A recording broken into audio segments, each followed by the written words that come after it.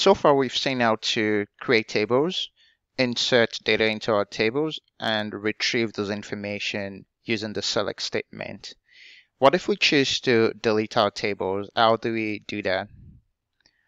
The syntax to delete our table is similar to the syntax we use to delete our database, and it is drop table followed by the name of the table we want to delete.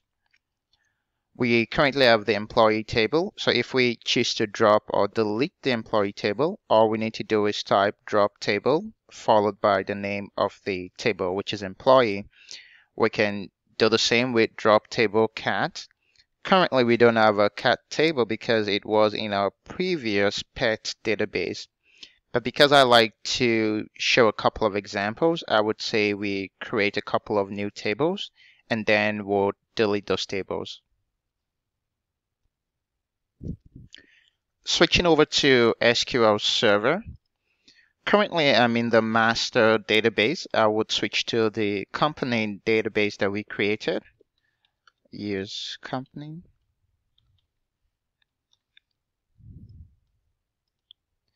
And now in the company database, let's create a new table. We'll just call this dog. And what information would we like to have for our dog table? Let's say we need the, the name of the dog. So you have a dog name. Actually, let's do a dog ID first. Dog ID. And that will be an integer because it will be a number. Would need the dog's name. Okay, make the maximum name 10 characters. And perhaps we want the, the breed of the dog. Okay, I'll make that 10 as well. And that's all for now, because um, the reason why we're creating this table is just to perform the delete function. Let's go ahead and create the table. Let's insert some data into our table. Insert into dog. And we'd like to insert uh, the dog ID, the name, as well as the breed. And what are the values? Say the dog ID 1. Let's see our dog name Smoky. And Smoky is a poodle. Okay. We can insert that. And let's insert one more record. Just copy that, paste, and let's call this Tammy, the dog ID 2 and will be a pug. We can insert that as well. So now we can select all from dog. When we print that, we see our dog table.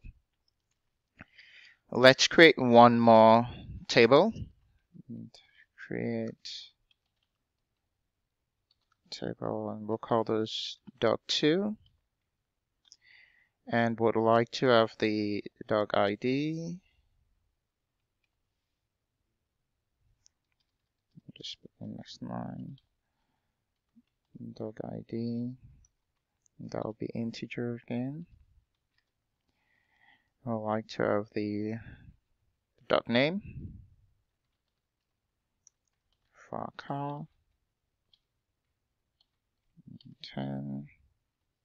I'd like to have the, the color. Okay. 10. That should do it. Create. And to insert values, I'm just going to copy this and make some changes to it. This will be dog2 Dog ID name, and then we have the color.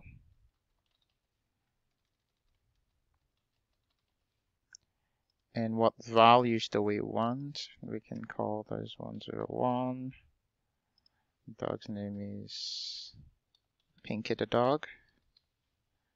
Mm, Pinky is a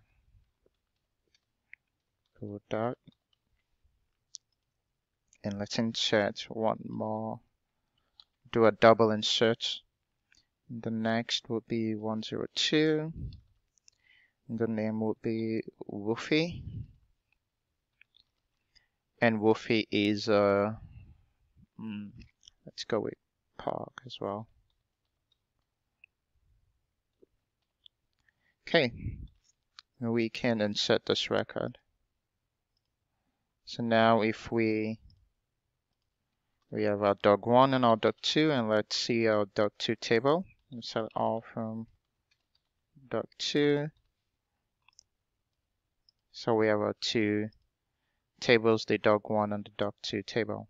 And just so you it's clear, we have select all from dog. Then when you select this, so see that there's a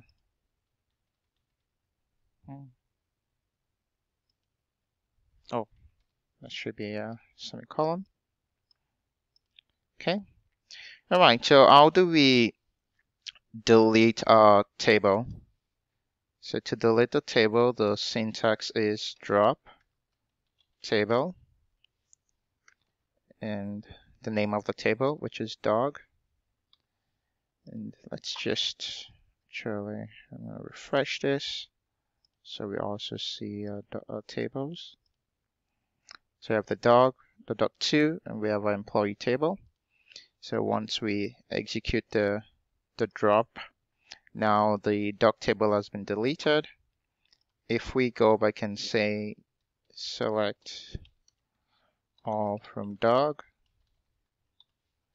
let's see what happens It says invalid object named dog. That's because our dog table has been deleted.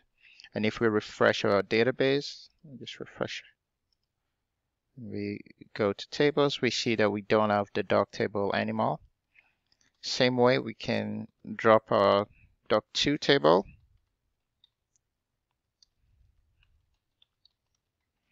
Dog2.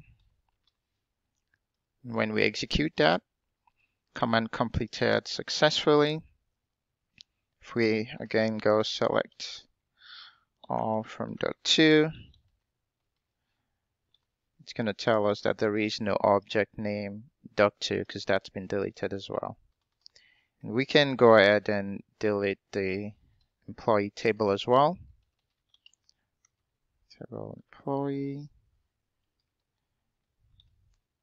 we do that, executes. Now all of our tables has been is now deleted. Refresh that. Tables. So now we don't see any user-defined table anymore.